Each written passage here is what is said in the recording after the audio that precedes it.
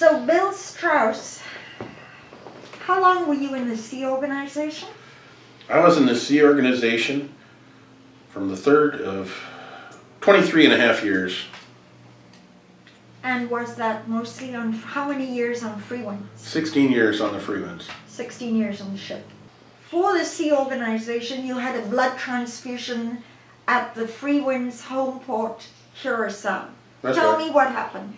Okay, I had a bleeding ulcer, lost a lot of blood, and they took me to the hospital and they gave me blood transfusions. You have always felt that the blood transfusion in Curacao gave you the AIDS virus. Is that right? It has to be because uh, you can only get it from through blood and through sex. The only two people I had sex with the whole time I was in the SO were my two wives, and they were both sent off for testing before I even found out I was positive, and they tested negative. Okay, I didn't get it from them. so the blood transfusion. Now, for way you can get it. 13 years, no treatment of that. Is that correct? No treatment. And you were sagging, going downward. Right. I'd go to the uh, doctor, and she said, "Oh, you've been working hard. You got, you know, you got to get more sleep," which is impossible when you're in the SO. Is it fair to say that the Sea Organization executives knew you had AIDS and withheld that and kept it secret from you? No, I don't think they had AIDS. They thought I had AIDS because the instant they found out, they, I was on the next plane out of there. Oh, so They didn't even tell me I had AIDS.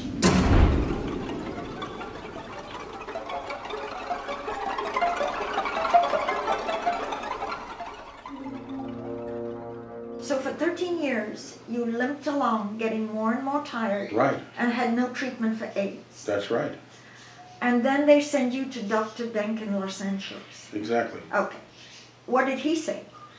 He said, I walked into his office. He was sitting behind his desk, and he looked up sadly, and he said, "They didn't tell you, did they?"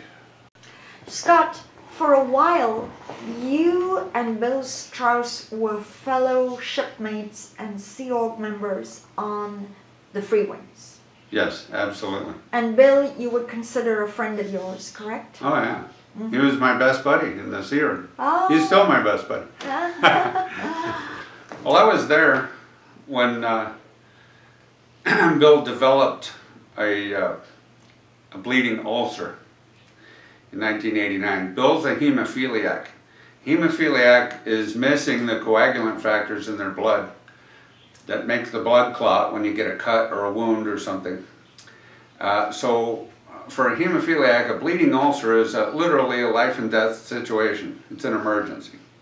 So he was sent to the hospital in Curacao, and uh, during that time uh, he received some transfusions and also the, the uh, missing coagulant factor that his, his body doesn't make. And uh, in one or the other, uh, the HIV virus was, was present. So Bill got HIV from that. However, he didn't know that at the time. And uh, over the subsequent years, the disease progressed uh, with the onset of symptoms of severe fatigue, um, dramatic weight loss. Um, he developed shingles, which is an extremely painful condition. Um, It sent me to a hospital in Nassau for some tests. They didn't tell me what tests they, I was being tested for. And then they called up Denk and told him, told him that I was tested positive for HIV. They didn't tell me.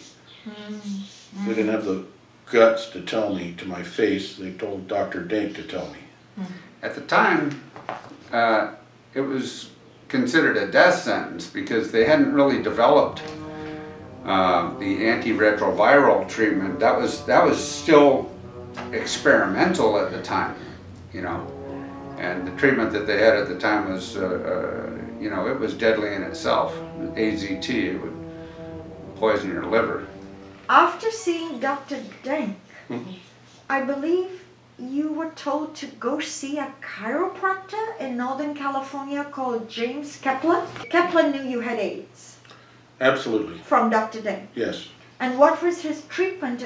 He's a long-term OT7, OT8 Scientologist. So what was his treatment of you since you had the AIDS virus? He uh, took x-rays of my back, he adjusted my back, he had some physical therapists working with me, and he gave me some herbs. So for the AIDS virus, you got back adjustments and herbs. Yeah, and he had some, some uh, weird laser therapy or something going on. What year was this, Bill? This was in 2002. I see. So basically, they were keeping the AIDS adjudication in house, meaning that they stayed with loyal OT7 Scientologists, Dr. Denk and Dr. Keppler. Absolutely, and I know for a fact that Keppler, instead of getting paid in cash, was getting accommodations on his Freewinds account as Oh. payment for my service, for, for treating me. And Bill's wife was still being held hostage on the ship. And uh, for six months. But since my wife was being held against her will on the ship, I left Keppler after, you know, two or three months. I was living in his house.